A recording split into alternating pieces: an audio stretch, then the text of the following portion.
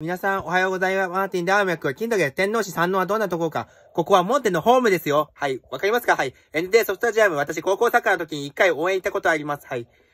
いやー、盛り上がりはほんとすごいですね。はい。モンテの試合見るたび盛り上がりはすごいです。はい。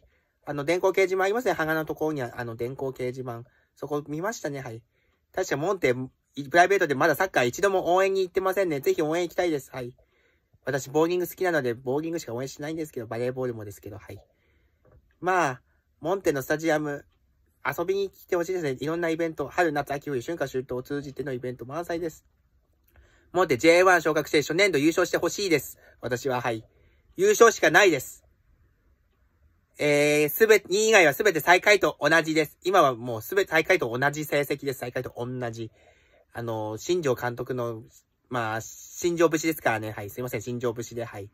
ビッグボスこと新庄監督です。はい。以上です。バイバイ。